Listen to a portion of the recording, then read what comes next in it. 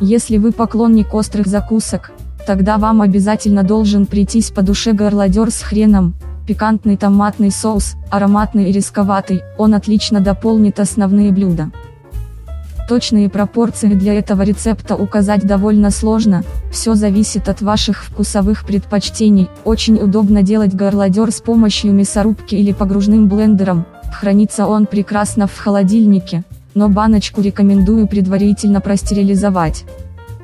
Досматриваем ролик до конца и записываем ингредиенты. Подготовьте ингредиенты. Чеснок очистите и нарежьте средними кусочками.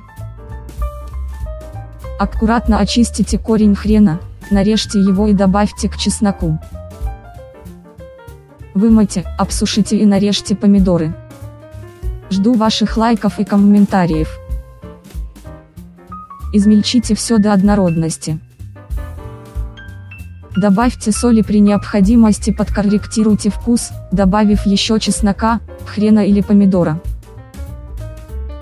Вот и все, через 5-10 минут горлодер с хреном готов. Жду ваших лайков и комментариев. Ингредиенты.